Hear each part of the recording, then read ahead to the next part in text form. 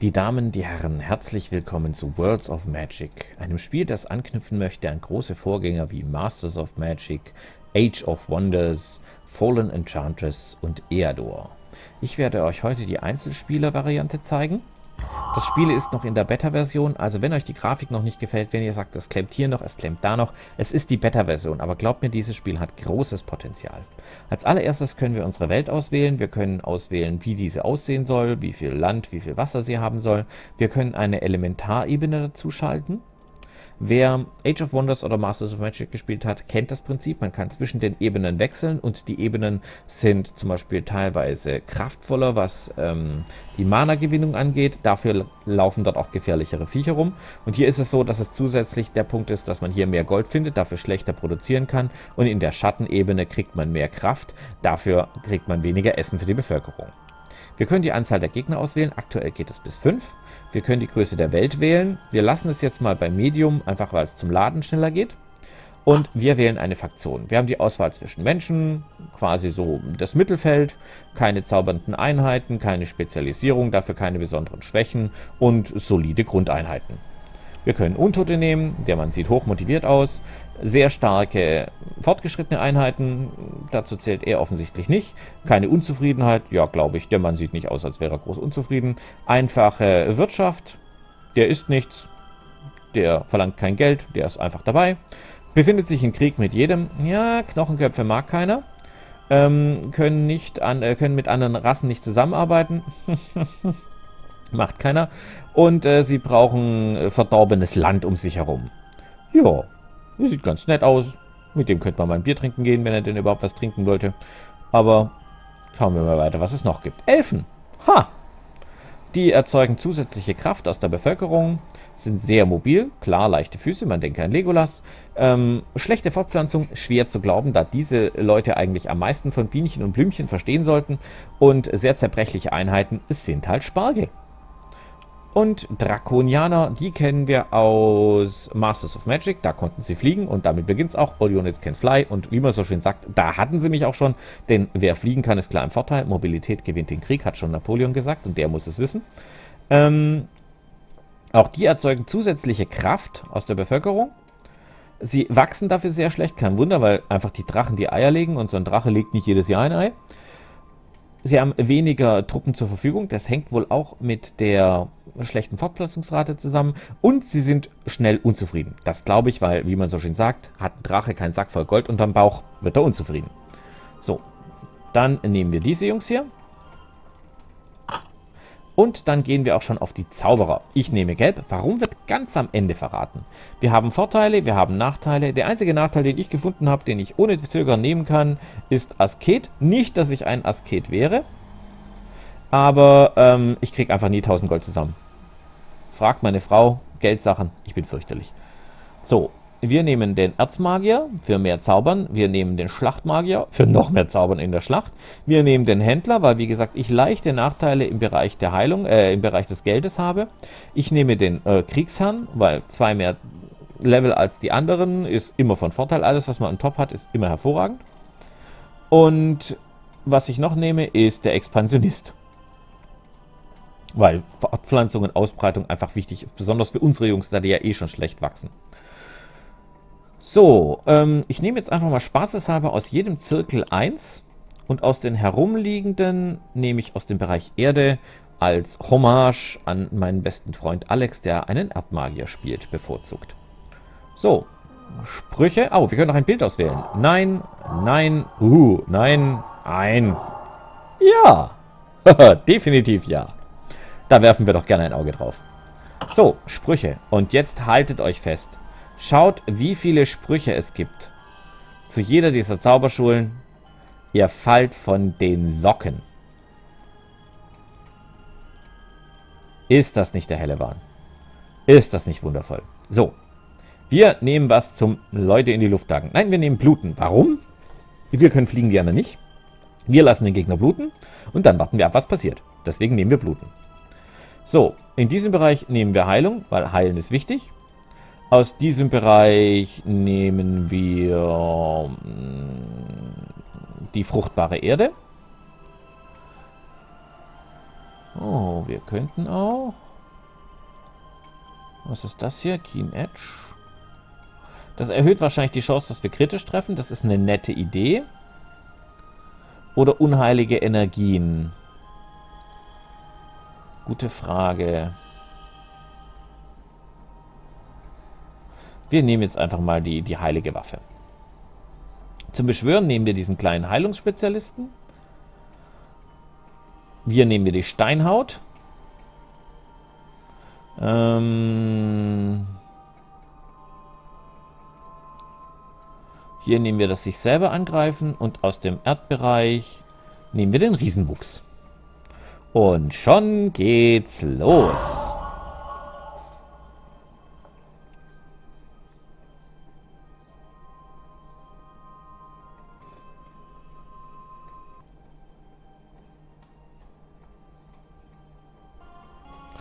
So, das ist unsere kleine Welt. Jetzt wird wieder der Spruch kommen, die Grafik ist fürchterlich. Es ist eine Beta. Und Punkt 2, wir sind hier nicht wegen der Grafik, sondern wegen der Spielidee und wegen der Möglichkeiten. Wenn ihr Grafik wollt, macht das Fenster aus, guckt aus dem Fenster, da geht es im Museum. Ja, es Bilder, könnt ihr angucken. So, was sehen wir hier? Unser Gold, unser Essen, unser Mana.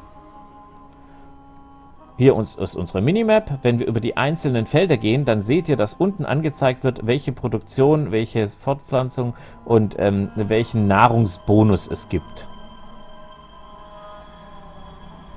Könnte also schon mal interessant sein. Als allererstes werfen wir mal einen geschickten Blick in unsere Stadt. Die können wir uns entweder gleich auf der Karte anzeigen lassen, wir können uns die Grobansicht anzeigen lassen oder wir gehen einfach mal direkt in die Stadt rein und gucken sie uns an. Pro 4000 Mann Bevölkerung kriegen wir einen Arbeiter. Aktuell werden zwei Arbeiter gebraucht, um die Stadt zu ernähren und zwei stehen frei. Diese beiden Arbeiter könnten wir jetzt zum Beispiel in Handwerker verwandeln, die uns helfen, Sachen schneller zu bauen. Ihr seht, die Anzahl der Hämmer hier geht hoch. Geld, Kraft, Essen, Produktion, Forschung und negative Energie, die wir aktuell nicht brauchen, weil wir ja keine Untoten sind.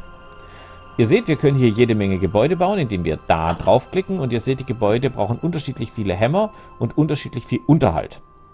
Ich nehme als allererstes, egal bei welchem Spiel, ob Civilization, Age of Wonders, ne, nennt es, ich baue es, ich baue immer einen Kornspeicher. Kornspeicher ist toll. Ihr seht, ohne die Arbeiter braucht er 23 äh, Runden, mit den Arbeitern braucht er nur 9, also ist das schon mal eine gute Wahl. Wir können auch Einheiten bauen, Siedler und ähm, Fährtensucher. Wir bleiben erstmal bei den Siedlern. Zum Glück kostet, hier, äh, kostet es hier keine Bevölkerung, ähm, Siedler zu bauen. Wer Age of Wonders 3 gespielt hat, der weiß, baue einen Siedler und entvölkere die Hälfte deiner Stadt. Nicht gut. So. Dann gehen wir mal in den Forschungsbereich. Wir sehen aktuell, wir haben ja Sprüche zur Auswahl. Ja? Es mangelt ja nicht an Sprüchen. Der einzige Problem ist, das einzige Problem ist, es kostet 30 Mana, um es zu zaubern. Und wir sind gerade so trocken wie ein Alkoholiker auf Entzug. Und deswegen hauen wir mal alles in unsere Mana, bis auf zwei Punkte. Die hauen wir in, den, in die Forschung, damit wir zumindest irgendwas erforschen. Ihr seht, hier sind die Sprüche, die wir zur Auswahl haben. Und ich nehme mal die unheilige Waffe. Ihr seht 60 Runden, das ist eine Zeit. Es sind jetzt nur noch 8 Runden. Lässt sich das vielleicht sogar ein bisschen nach unten schrauben? Ja, das ist doch okay. Jetzt machen, klicken wir hier oben drauf, dann ist es gelockt, also eingerastet. Und dann können wir quasi die anderen Punkte zwischen diesen beiden hin und her schieben. Aktuell werden alle Einheiten beschworen in Drakendale, das ist unsere Heimat. Und aktuell zaubern wir keinen Spruch, wie denn auch, wir haben kein Mana. Wir könnten etwas craften, also etwas herstellen, einen Gegenstand. Ihr seht, man kann Reichweitenwaffen, Schilde, Rüstungen, Helme und also guckt euch an, die helle Auswahl, die helle Freude. Und jetzt kommt der Punkt, euch wird das bekannt vorkommen. Rüstungsklasse, maximaler Geschicklichkeitsbonus. Ja, das erinnert alles furchtbar an D&D und das ist gut. Das ist kein Fehler bei den Besten zu lernen. Wir könnten Mana in Geld umwandeln. Wir könnten es auch umdrehen. Aber wenn ihr jetzt mal guckt, wie viel Gold wir in Mana umwandeln, da sind wir ja arm, bevor wir Mana zur Verfügung haben. So, wir könnten zwischen den Welten rumwechseln. Das machen wir natürlich nicht, weil aktuell haben wir nur eine. Und dann schauen wir mal weiter. Sachen herstellen brauchen wir nicht, zwischen den Ebenen wandeln brauchen wir nicht, weil wir ja gerade mal eine Ebene haben. Diplomatie, mit wem sollen wir reden? Wir kennen noch niemanden. Wenn ihr mal hier drauf guckt, ja das Silbererz. Das heißt, wenn unsere Stadt etwas wächst, dann hätten wir Zugriff auf Silber, dann würde es mehr in der Kasse klingeln. Hier ist unser Zauberbuch. Sprüche machen macht gerade keinen Sinn. Also klicken wir auf unsere Truppen und da sehen wir unsere Truppenübersicht. Wir haben zwei Tracker. Wir haben Erfahrung, Lebenspunkte, Schaden, Reichweitenschaden, magischen Schaden, Rüstungsklasse, ähm, Widerstandswurf, Ausweichen, Willenskraft und Bewegung.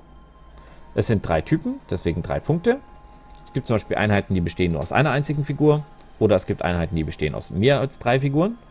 Hier ist der Unterhalt, ein Essen, äh, ein Essen, ein Gold. Das heißt, wahrscheinlich müssen wir einen unserer Arbeiter trotzdem abstellen, um Essen herzustellen, weil unsere Jungs sonst im Feld verhungern.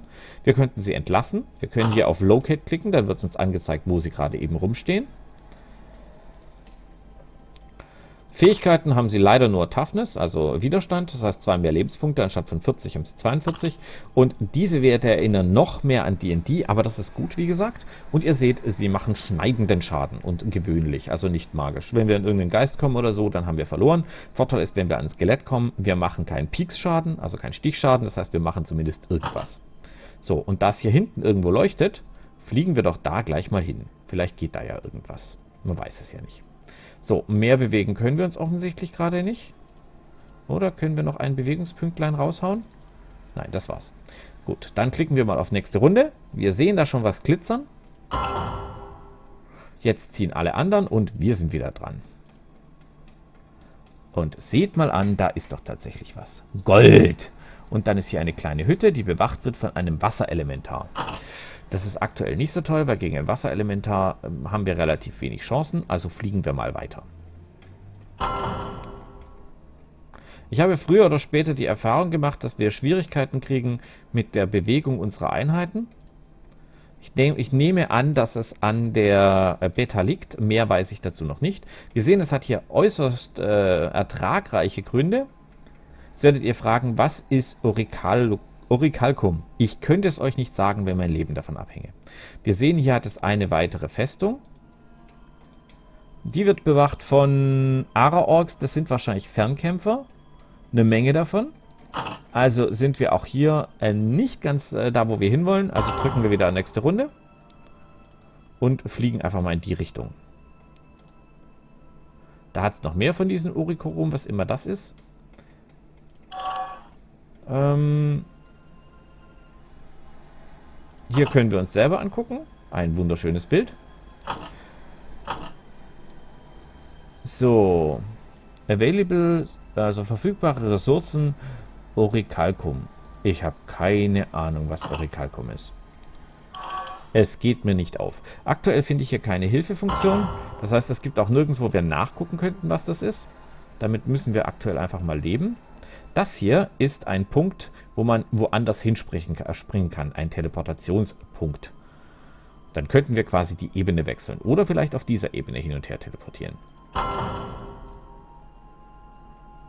So, es gibt einen äh, Mana einen Mana Notstand. Das heißt, aktuell können wir kein Mana erzeugen.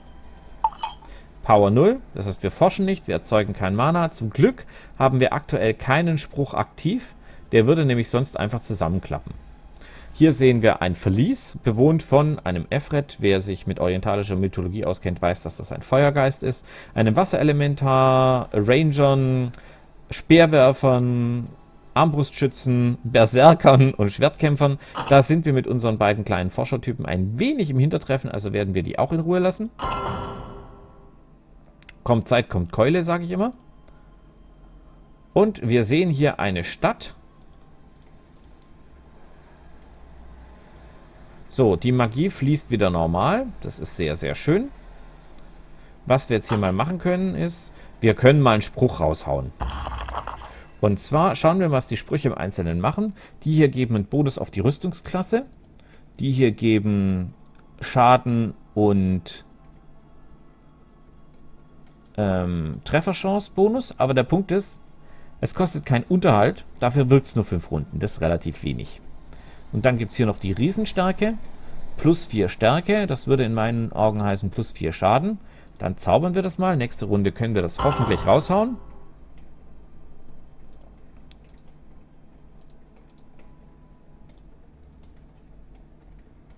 So. Jetzt schauen wir mal, ob das gewirkt hat. Ja. Nein? Ja, Giants. Hier. Giant Strength.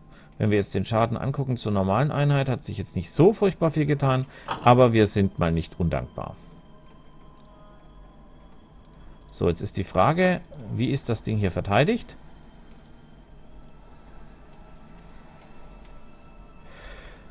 Den Kampf werde ich wahrscheinlich nicht gewinnen, aber es geht hier auch nicht ums Gewinnen von Kämpfen, sondern es geht darum, dass ich euch alles zeige. Also zeige ich euch jetzt noch den Kampf, danach sehen wir wahrscheinlich eh Asche. Und dann rücken wir mal vor. In der Theorie können wir fliegen und die nicht. Das heißt auf gut Deutsch, wir sind diejenigen, die am Zug sind. Ihr seht, es ist ein sehr relativ großes Schlachtfeld, was ich sehr, sehr gut finde. Ich hasse kleine Schlachtfelder. Die nehmen taktische Mobilität. Es gibt Hindernisse, die man ausnutzen kann. Unsere Gegner, wenn wir einen Blick darauf werfen, sind Speerträger. Die kämpfen genauso schlecht wie wir, haben sogar eine schlechtere Rüstungsklasse, sind langsamer. Dafür sind es einer mehr als wir. So, die machen Stichschaden. Ansonsten sind die relativ traurig. Was wir mal gucken ist, ob wir denen irgendeinen Spruch um die Ohren halten, hauen können. Ha! Wir könnten die zum Beispiel schon einfach mal bluten lassen. Bluten die jetzt schon oder bluten die nicht? Nö, sie haben widerstanden. Das ist sehr, sehr ärgerlich.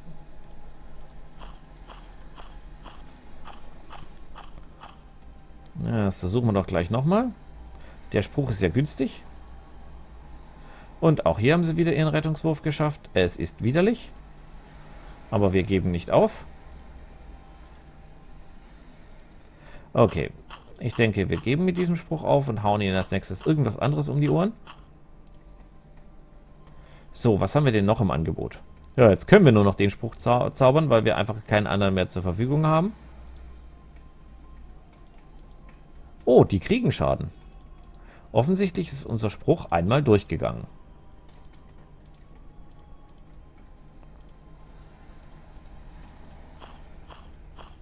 Jetzt schauen wir mal, ob die nächste Runde noch ein weniger haben. Ja, sie verbluten! Haha, wir müssen gar nichts tun. Wir können unsere Truppen sparen. Ah, jetzt bluten sie nicht mehr. Okay. Wo ist der Mann mit der großen Keule?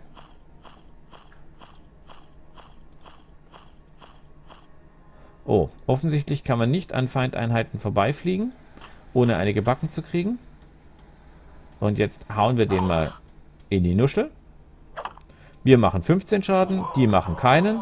Die sind tot und wir haben gewonnen und 150 Erfahrungspunkte abgegriffen. Ist das nicht toll? Äh, wir nehmen die Stadt natürlich. Und wir haben drei Gold gefunden.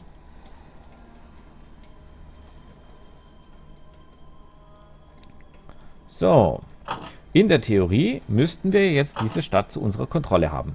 Sehr schön. Und das haben wir auch.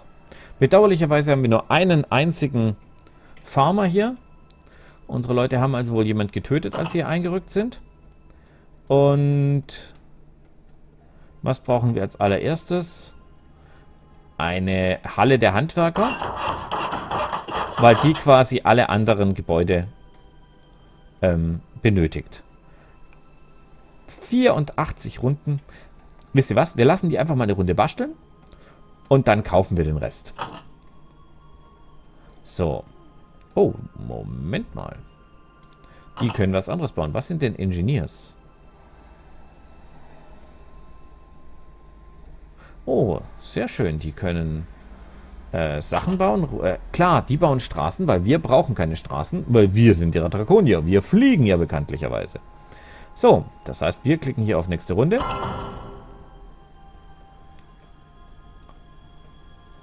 Sehr schön. Da hat sich nichts geändert. Ich habe manchmal den Eindruck gehabt, ich meine, ich habe das Spiel jetzt noch nicht so viel gespielt, aber ich habe den Eindruck gehabt, dass die äh, Sachen manchmal weniger stark bevölkert werden mit der Zeit, beziehungsweise verlassen werden. Und das könnte ja durchaus zu unserem Vorteil sein. So.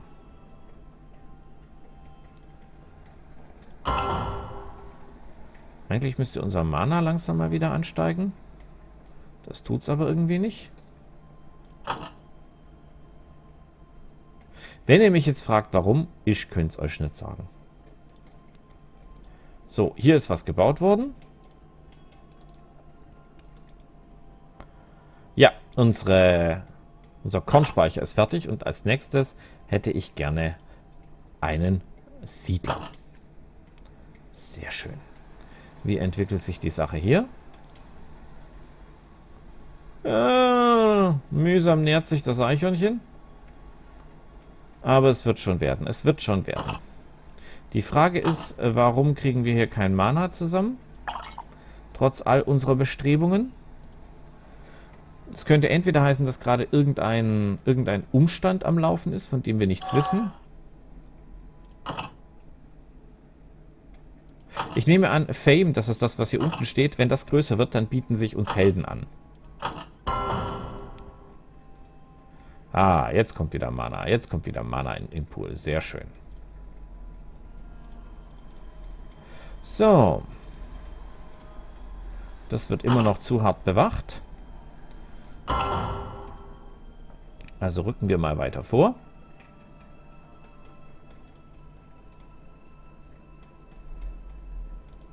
Wobei ich mich des Eindrucks nicht erwehren kann, dass ich euch gezeigt habe, was ich euch zeigen wollte. Das heißt, ähm, wenn ihr mehr davon sehen wollt, dann gebt mir Bescheid.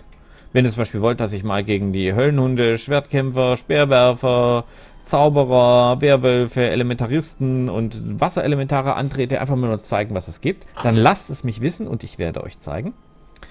Wenn es Fragen gibt, gerne. Wenn eine, ein Let's Play gewünscht wird, gerne. Ansonsten schreibt mir, lasst es mich wissen. Eine letzte Ankündigung möchte ich noch machen. Warum habe ich Geld genommen? Ganz, äh, Geld genommen? Ganz einfach. Es gibt etwas, worauf ich hinweisen möchte. Und zwar auf einen Blog, an dem man interessante Nachle Sachen nachlesen kann, sich Denkanstöße holen kann. Der Blog heißt der Hackerling. Ich werde den Blog posten. Seid unbesorgt, es ist nicht von mir, auch wenn der Name verwandt klingt. Er ist es in gewisser Hinsicht auch. Ich kann aber so viel sagen, es ist nicht mein Vater. Ähm, es ist sehr, sehr empfehlenswert, es ist sehr geistreich, es sind Anstöße zur Weltpolitik, Lokalpolitik oder zu allgemeinen Dingen von jemandem, der die Weisheit besitzt, sich dazu auch äußern zu können und zu dürfen.